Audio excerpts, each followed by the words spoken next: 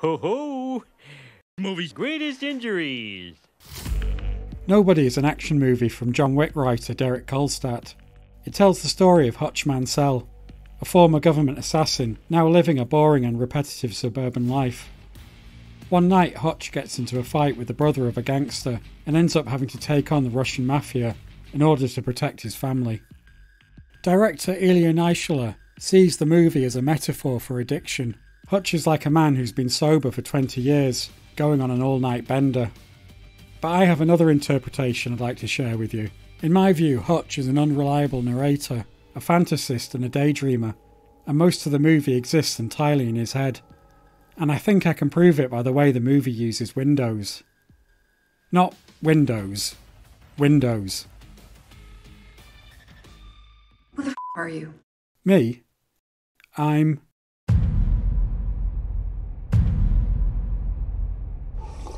The movie opens with a montage sequence that shows Hutch living a routine life, where one day is much the same as the next. We see him on the bus, at work, and at home, over and over again. On the bus, at work, and at home. There are five main action set pieces in the movie the fight on the bus, the home invasion, the burning of the Obshak, the car chase, and the final shootout at Hutch's workplace. Put a pin in the Obshak and the car chase, we'll come back to that later. The other three are in places that Hutch is familiar with in his daily routine on the bus, at work, and at home. When his home is broken into, Hutch chooses to de escalate the situation rather than resort to violence, even though he has the drop on a burglar. Interestingly, the idea for the movie comes from when Bob Odenkirk was broken into for real. It's not a good situation to be in. You don't quite know what to do, and you wish you'd done more. You always wish you'd done more. After the break in, he is emasculated by a cop, his neighbour, and his in laws. I also have experienced this moment where the policeman sort of says, I would have done something. And you're like, really? I thought I was supposed to keep things cool. Immediately after Hutch's humiliation, we see him staring out of a window. This is an archetypical image of a daydreamer. He then speaks to his brother on a ham radio. I think Hutch is still at the window daydreaming, and this conversation is in his head. His brother describes himself as being officially dead, but I think he may in fact be dead for real. When he gets back home, we see him again, staring through a window, this time at his family. The obvious symbolism here is that he is disconnected from them and doesn't share in their feelings of domestic bliss. But I think the shot is doing double duty because the next scene is another fantasy. His daughter tells him she has lost her kitty cat bracelet. Hutch thinks the thieves may have grabbed it by mistake while they were taking cash from the bowl. During the burglary, listen to how Hutch describes his watch.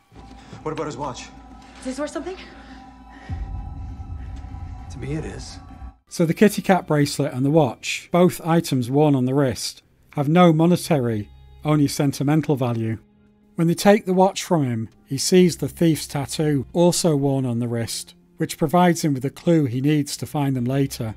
I believe that this part of the burglary is a later fabrication by Hutch. In the next scene, he is on the bus, framed by the window, the image of a daydreamer again. He goes to his dad's to get a gun, and in a montage sequence visits several tattoo parlours looking for a lead on the burglars. In between each visit, we see him back on the bus. It's my contention that Hutch is on the bus constructing these scenarios in his head. He daydreams about catching up to the burglars and recovering his watch, but they don't have the kitty cat bracelet. Later, it turns out that the bracelet was never stolen, as Hutch finds it in his man cave. I suggest that this is where he actually found his watch, that he mistakenly believed it to have been stolen and incorporated it into his fantasy, rewriting it as his daughter's bracelet. We now come to the first major action scene when the Russian and his gang board the bus. Notice how Hutch first sees them while staring through a window, indicating that he's in another daydream. I'm impressed by how restrained the movie's been. Though there have been several scenes where the action could have kicked off, almost a third of the runtime has been used to develop the characters.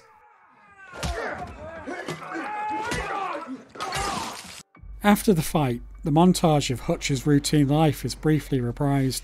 ending on a shot of him daydreaming at the window again. In order to keep his fantasy going, he invents the barber character and creates the backstory of Yulian, brother to one of the people he mashed up on the bus. Yulian is a Russian gangster in charge of the Obshak, a common fund held for members of the Estonian and Russian mafia. He is the equal and opposite of Hutch, unrestrained in his violent impulses, but dreams of escaping to a simpler life. Yulian sends a team to Hutch's home. Hutch sees them arriving while staring through a window, teeing up another fantasy.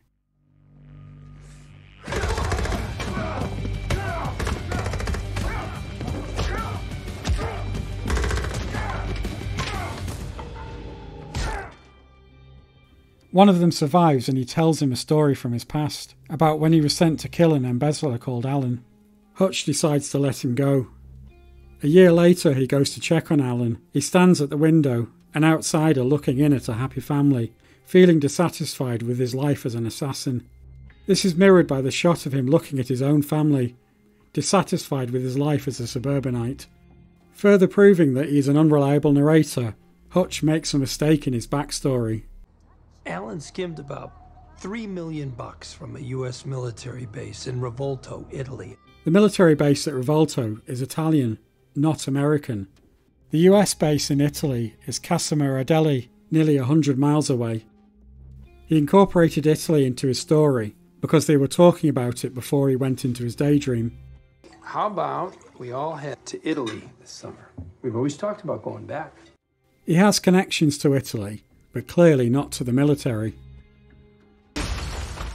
Hutch then steals his neighbour's whip.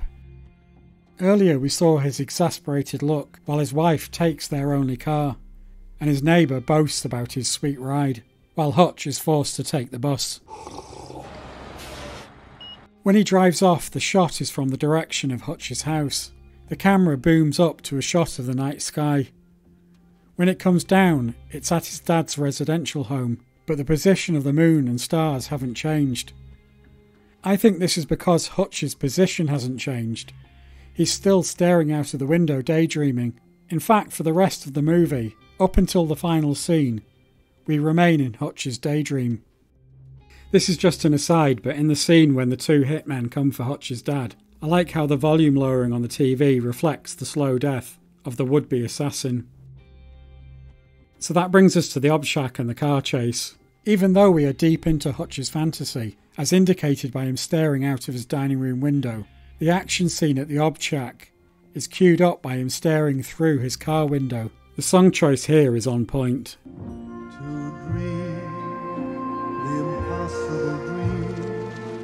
After burning down the Obshak, Hutch goes to see Yulian. He offers him the opportunity to walk away and live the quiet life he dreams of. This is really Hutch's own choice to return to his simple suburban existence or to live like Walter Mitty in a world of fantasy. At the beginning of the car chase, the window motif is repeated as Hutch drives past the nightclub, catching Yulian's eye through the car's side window, teeing up another action set piece. Four of the five main action scenes begin with Hutch staring out of a window, the car chase and the workplace shootout run into each other, but there is a pause between the two sequences when Hutch and his dad have a brief conversation. When the action resumes, the gangsters appear at a glass door, a door with a window in it.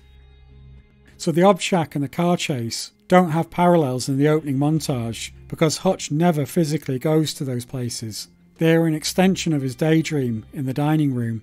The chase scene suggested by his neighbour's car that he eyed enviously and is easily visible from his dining room window. In fact, since the burglary, Hutch hasn't broken his routine. He continues his endless cycle of getting on the bus, going to work, then back home to his family, all while staring out of windows, daydreaming about a more exciting life.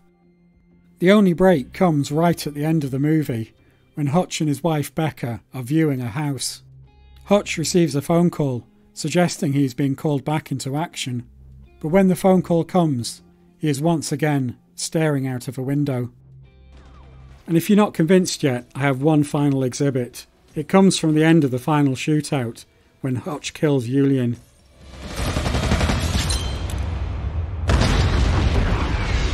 Take a look at what he's holding to protect himself from the blast.